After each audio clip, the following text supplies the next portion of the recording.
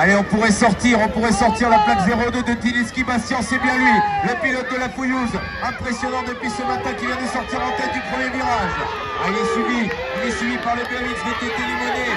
Masmilan occupe actuellement la deuxième place, il y a le merde qui essaie de rentrer en troisième place. Troisième position occupée par Père Sacha, le pilote de Montmélian, mais rien n'est joué. À la première position, il fait cavalier seul, Tilitsky Bastian, impressionnant le rider de la Fouillouse, s'envole vers le titre de champion Auvergne-Rhône-Alpes. Deuxième position, passe Milan. Troisième position, attention, ça attaque Land BMX, ou Montmélian, Land Montmélian, Land Montmélian. Ah, ils ont chuté,